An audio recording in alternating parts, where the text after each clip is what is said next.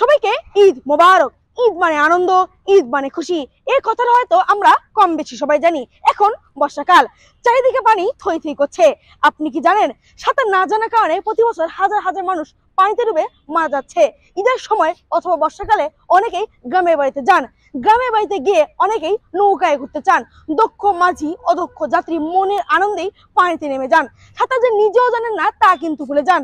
পরদিন পত্রিকায় টেলিভিশনে হেডিং যা শুনে স্তব্ধ হয়ে যায়। কারণ পানিতে ডুবে মারা গেল একই পরিবারের কয়েকজনের প্রাণ। তাই আপনার সন্তানকে সাঁতার শেখান। নিজেও যদি না জানুন, তাহলে সাঁতার শিখুন। আপনি কি জানেন? একটি পরিসংখ্যানে দেখা গিয়েছে যে, আমাদের দেশে প্রতি বছর চোদ্দ থেকে আঠারো হাজার মানুষ পানিতে ডুবে মারা যায়। এদের মধ্যে দুই থেকে চোদ্দ বছর বয়সের মানুষের সংখ্যাই বেশি। সবার ঈদ যাত্রা শুভ হোক। সবাইকে আবারও ঈদ মুবারক। রুয়েত ঢাকা।